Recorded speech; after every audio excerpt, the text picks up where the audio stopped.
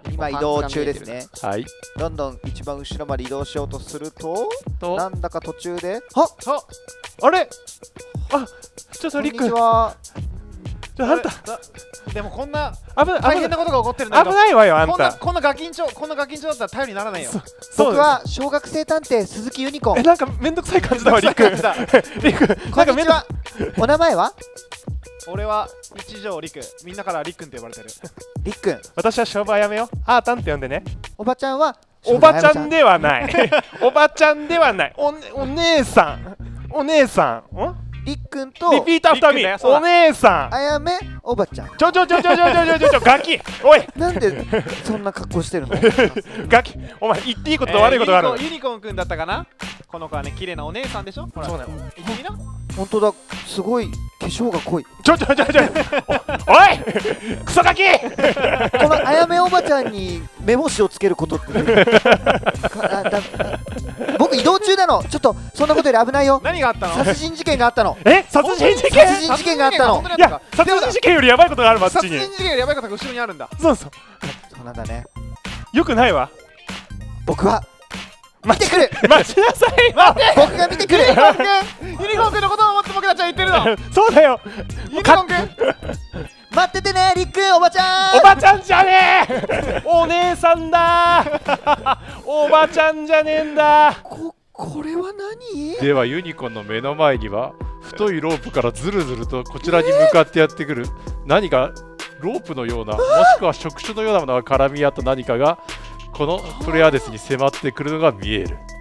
しかし、えーすぐ眼前まで迫ったそいつに対して目星に成功すればきっとあのバカップルが気づかなかった何かに気づくことができるだろりっくん怖いわ私。うでは、えーもう一度ユニコーン。あの小学生は死んだ。ダイスロールをしてもらおうかな。死んだわね。あまたはこういうところに気をつけたいとかそういうのがあるんでしたら宣言してもらったらさっきみたいにボーナスがもらえたりするかもしれない。悔しいな私。この怪獣みたいなの何か怪獣図鑑とかで見たことあるな。怪獣図鑑。怪獣図鑑でなんか首が3つある怪獣だとか見たことあるな。じゃあユニコーンのがですね、えー自分の身近な怪獣にですねそいつを照らし合わせたことで少し恐怖心を和らげることができるかもしれない、えー少し冷静になって見ることができるので目星にもう一回プライチをプレゼントしましょう。ワクワクワクワつまクりユニコーンは目星8以下が出れば成功お願いします。強い。ユニコーンアイディア。目星だっちゅうね。ややこしいから。あでも成功ですね。えー一瞬ですね、あまりのおぞましさに君は目がそれてしまったんだが、今まで君は怪獣図鑑の図鑑であのような怪物は結構見慣れているので、冷静に観察することができる。そういえば知ってるぞああいうの。ケルベロスとかただ、恐ろしい怪物であることに間違いない。君がですね、これまで見た特撮怪獣のね、どれよりもですね、おぞましく現実的な存在です。えーただ、一つだけですね、その恐ろしい怪物の中に不自然な点がある。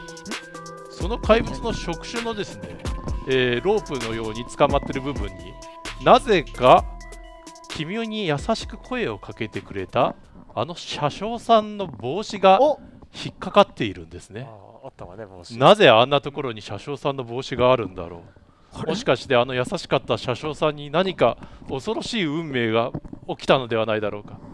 そのことに思いついてしまったユニコーンはさっきよりもやばい正気ドロールをしなくてはいけない、死んだわね。ユニコーンの正気度は7でございます。はい。7以下が出ればそこまでビビることはないがえ失敗してしまったらさっきのホストよりもより恐ろしい恐怖に気づいてしまう。自分の力のなさが悔しい。ではユニコーン。運命の正気ドロールお願いします。あーあーうん。成功しましたね。あいつあの小学生やるぞ。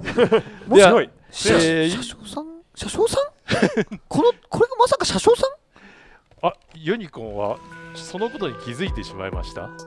もしかしてあれは優しく君に話しかけてくれた車掌さんの慣れの果てなのかもしれない。ただそのことで取り乱すほど君はですね弱い人間ではない。なぜなら小学生探偵だからね。だけど正気度は1.1を減らしていただきます。失敗していたらもっとたくさん減っていました。1かかなりだな。うん。でもユニコーンは気づきます。後ろにいるのはもしかして車掌さんなのではないか、うん。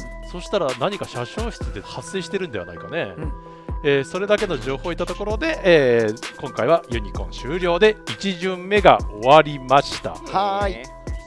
ユニコーン大活躍だな。ユニコーン大活躍！おいクソガキ早く戻ってこい。誰がクソガキや！大丈夫か？ユニコーンくん大丈夫？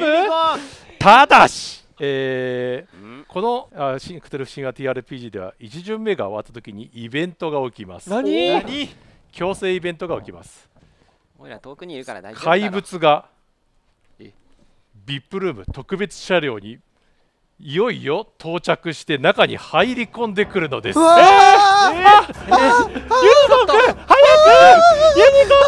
あー！あー！バリバリとガラスの割れる音とゴー！という列車の音が大きく後ろの車両から響き始めそしてユニコーンの悲鳴が聞こえる。ユニコーン君の前にですね触手がブンブンと振り回されてこの触手を逃れて、えー前の車両に逃げるためには跳躍に成功してもらわないといけない。ユニコーン。ユニコーンかわいそうだから連続してサイコロを振ってもらうことになる。あの怪物の向こうからサイコロを手に取るんだ。ーお邪魔しますお邪魔しますお邪魔します。つ死んだなユニコーンの跳躍は3です。サイコロ振って3以下が出れば、えーあなたはこの怪物からぴょーんと逃逃れて、えー前の車両に行くことができます。これはあの時のあの学校でみんなで大縄跳びした時と同じ要領だ すごいそれは何いやアピールなのかな。これは。大縄跳びするときにこのリズムで飛べって先生から教わったぞ。確かに君の足元に迫ってくるあの細長い触手と君が飛んでいたあの大縄跳び。何か一瞬シンクロした気がする。嘘だろ。じゃあしょうがない。跳躍にプラス1あげよう。それでも成功率は4小4成功率は4以下です。頑張って成功させてください。ユニコーンくん早く。ユニコーンジャンプだーこうで失敗だ。残念ながら失敗してしまいました。えー死んだわね。それではですね、あなたの耐久力が今あの攻撃で、え1点減ります、痛いえー残りは4になってしまったので、かなり危険ですね。えーこの後は、えーこの部屋から脱出することはできますので、えー一旦じゃあちょっと離れてても大丈夫はい。早く来なさい。では後ろの方で恐ろしい、えーあんな可愛い子を、おえ容赦なく引っ張く怪物がいましたが、えー手番は頭に戻って、えー、りっくんの番になりますね、えー怪物はどんどん前に迫っているようですこのままこの食堂車にいればあなた方も犠牲になるでしょう。おいクソガキお前何したんだ？怪物が来ただろうが。なんでリックそんなこと言ってる場合じゃないわ。なんで来てるわよ。助けに来てくれ早くなんで逃げようよ。助けに来てくれなかったの？確かに。なんで助けに来てくれなかこれったの？で逃げなきゃいけない。なんでなんで助けに来てくれなかったもう死んだかと思って。なんで助けに来てくれなかったもしかしたら前の方に大人がいるかもしれないから。そうとりあえずそこまで走ろう。そうねユニコ大ー大人ここにいる大人ここにいる。ちゃんとおねえお兄移ちゃん動は一大人人ここには ずつ 何でもないです。じゃあまずは、えーなんでもないなんでもないまずはりっくんだけ移動してください。待ってくれ綺麗なお姉さん。待ってくれ。それ正しいいい子だね。ちょっと待ってくれ。あ。の俺は本当に生き残りたいんだ。ただ見てくれあそこに。あ。そこになんかあ。そこになんかいるわ。なんか見てるやつがいるんだよ。列車あいつなんだ？怖くない怖くない。彼はこうたくんあそうなのか？彼は僕の友達だよ。友達なんだ。怖くないよ。幼稚園？あの年少さん。年少さんなんだ。年少さん。大人はいないの？大人は大大人はここにいるよ。大人はここにいるそうね。リックリックはいるけどユニコ君ユニコ君ちゃんとした係員みたいな大人は見た？大人？大人。車掌さんが車掌。さんが車掌さんそうそう車が掌さんとか。車掌さんが走ってきたえ走ってき車た掌さんが車掌さんえ何言ってんのユニコ君車掌さん走ってるのは怪物だ！車掌さんに叩かれた。リックダメよこの子はも この子はダメだ。頭が 頭がいかれてるうやられてしまったよ説明したらいいかな。待ってくれなんだ頭は？が悪いな。え何？これで戦えるかもしんないやめリックダメよ。あんなやつと戦うなんて。どうしよう。思ったよりも一本じゃない。二本には分からないだし。一本じゃないわね。一本ずつは持てないらし。いでも見てくれお兄ちゃん刃物で遊んだらダメだよ。いや。お兄ちゃん。ユニコーン君君にはまだ小さいから分からないかもしれないが男っていうのはなやらないといけない時がある。素敵！なんなんだこの二人。そうだろ。素敵！そうだろ。付き合ってるの？お二人はそうよもう結婚が控えてるの。結婚？結婚？控えてるのか？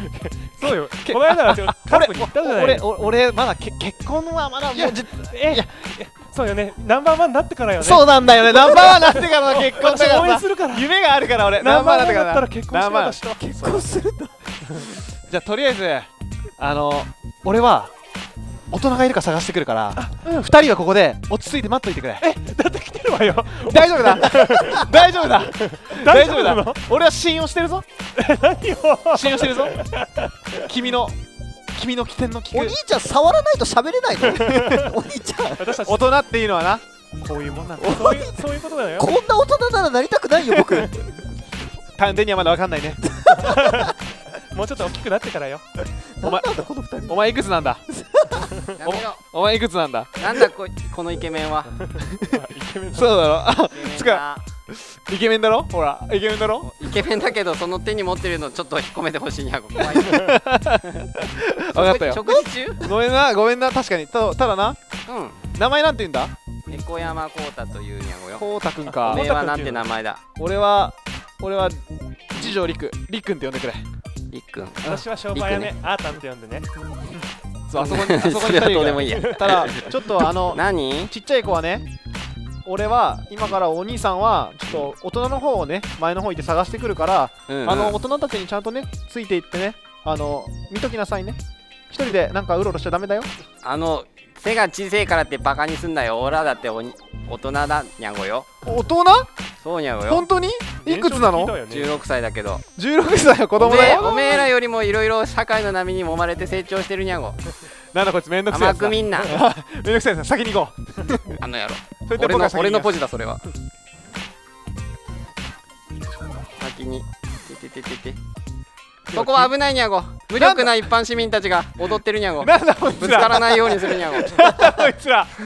えーここでですね、はい。りっくんは思うんですが、この無力な乗客たち、このままほっといたら、きっとあの迫ってくる怪物にどうにかされちまうだろうな。となるほど。思います。迫ってくる怪物とかいるにゃごが何？何の話？なんか見てくれこれをって言って俺はコウタ君に携帯見せます。見てくれこの怪物を。見えるか？コウタ。ひどいものを見せるな。コウタ。見えるかこれ？コウタこれが現実だ。見ろ。なんだ？これは何かの新しいゲームか何かかにゃご？違う。これはうん。今この列車の後ろにある現実だ。現実？現実なんだ今現在これが起こってるんだ。あの後ろの列車の奥には怪物がいるんだはい。本当だ。ああなんかでもそこの窓から見えたか透過率の高い窓から見えたから。透過率とか言うんじゃない。うんうん。なんかあるんだろうかとは思っていたけどそんなのがあったにゃごね。そう。びっくりするだろ？あんま直接見たくねえにゃごね。な なんだおそう前これ見ない。と苦手にゃごわからない。ホラー映画とか見たくないのあなそうなのか。見じゃあ見ないのか？うん。ほら。あざ浅ましい。見ろよこれほら。小気道をなくそうとする小気道を見ろよ。やめろ。見ろよこれ。見せる驚くだろこれ。ほら。どう見ても自情虐待にしか見えないんです。そろそろ。さて、こはいの無力な、えー乗客たちを無視して車掌室の方に向かうことも可能だし、えー他の人に任せてもいいでしょう。さて、りっくん、どうするかな？前に前になんかあるのか？とりあえずなんかさっき前から怒鳴ってる声が聞こえてあのさっきのなんか小学生名探偵とかなんか言ってたガキがいるにゃごよね。あいたあのあのにゃあのにゃごがあの車掌さんと渋沢さんっていう人がうん。渋沢がナイフを持って車掌を脅してたみたいなそういうことだって理解したみたいな話をしてたにゃご俺もあんまりあの頭の中整理ついてないにゃごすまん。なるほどじゃあ前に行っても頼れる大人はあんまりいなさそうだな。ナイフ持った渋沢がいるかもしんないからそのナイフでなんとかしてくれにゃごなにそんなまさか後ろも怪物。前も前も危険なのか。強靭かもしれないにゃご強靭かもしれない。そうか。じゃあここは。情報量くれにゃご無力な乗客たちをどうにかして仲間にしといた方がいいかもしれないな。確かに。立てば泳ぐ方がいいにゃごそうだろ？やっぱりお前もそう思うよな、うん。仲いいな。あなたたち。あどなんだこの君君ナイフを持って。どうした？今この確かこの記者はとても危険な状況にあるんです。あと君正面から見るとすごいイケメンなのに横から見ると なんかちょっと残念だね。やめなさい横から見ると。やめてください。おい。ら下から見ればイケメンにゃちゃん。と上から大丈夫だ。ちゃんと自信を持つにちゃ下から見てください。僕のことは。下から見てください。人の人の顔にケチをつける前にそのむ個性のない君たち3人に問う。はい。このまま僕たちについて命を助かるかそれとも僕の話を信じずにこの記者と一緒に怪物と心中するかどっちがいい？そうすると3人揃った同じ顔のやつらはですねひそひそひそとは相談し合う。後ろの車両で火事が起きたにゃご。だから早く前に行くにゃご。なるほどここはりっくんホストとしてのですね実力を見せるために外見ロール行ってみようおかおやすごいロール。え当然ホストのりっくんは外見は相当高いんでしょうね、顎が鋭利なせいで俺はちょっと ATB が低いんだ。えー外見りっくんの外見は6しかありません。六。残念ですが、えー今回の交渉ただそののパラメータナイフを捨てるのならばプライチあげようナイフをナイフ渡しナイフを受け取るみたいなことできないですかあいいですよ。こうたくんちょっとナイフを持っていてくれ。ありがとう。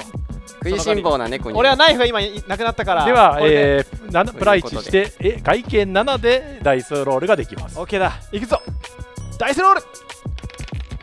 1お成功だじゃあすごく成功したんでおおい何を言ってるんだあの顎がいいんだそうだ。そうだろ。その話じゃねえだろまず。なんて切れ味のいい顎えー、君あれ無力な乗客たちはですねもうこうなったら、えーなかなかマッチョであるところのですね、えー、リックンにもついていけばなんとかなるだろうと、えー、リックンのアイテムになります。リックンアイテムだ。そのそれモテます？モテるつなぎしてないにしか見ええー わあ怖い。彼らがですね犠牲になると君たちはものすごい正気ドロールをさせられるのであリックンは命がけでその子を守ってあげてください、わかりました。わかりましない辛そうだな。お前とんでもないやつにゃごねた あ小さくなった。なんでちっちゃくなっあの持ち運びビリのように小さくもなります。たすげえにゃごたいやみたいにな分かった。じゃあ大事に持ち歩いてください。こいつらは絶対に俺が助ける。はい。俺の顎を信じてくれたんだ。おおかっけえ。なんか熱い感じになってじゃあ、えーこれでリックンの行動は終了です、えーでは前方の方でリックンの自信満々な笑い声が聞こえていますが、顎 えーね。顎リックン第一のファンであるあやめちゃあん行動の番です。お願いいたします。ちょっと今カメラ移動します。あやめちゃんどうですか？はい。じゃああやめちゃん。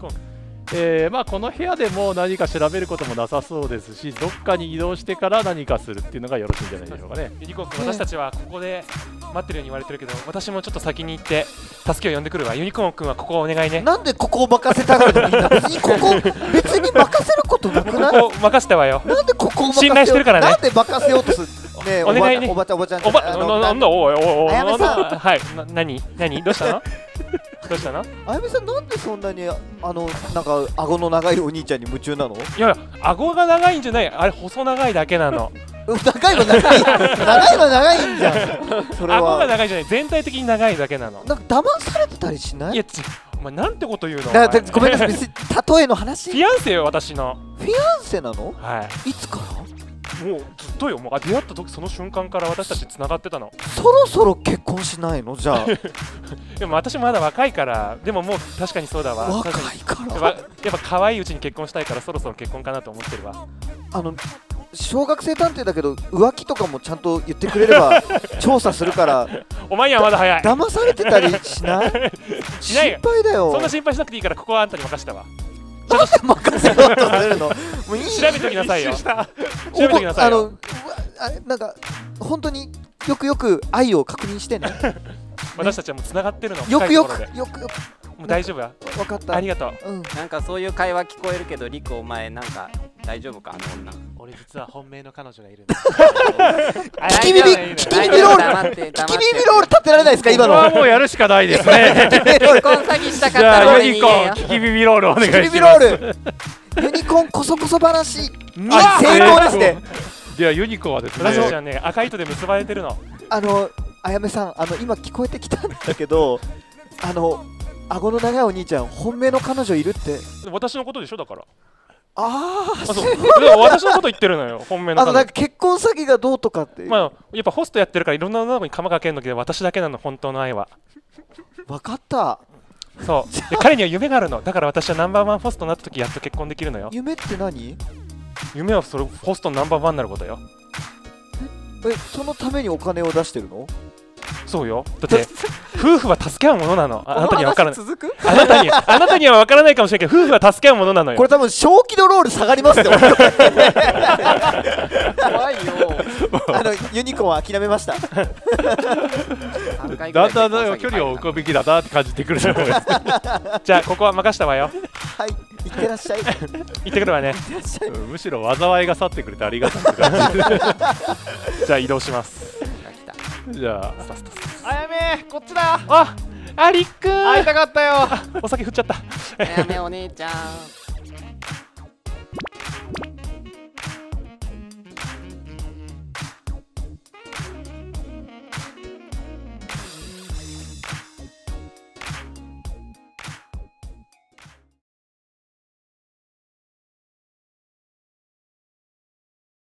はい、えー、どうも皆さんムツです。よろしくお願いします。唯一の女性キャラです。い い。やめなさい。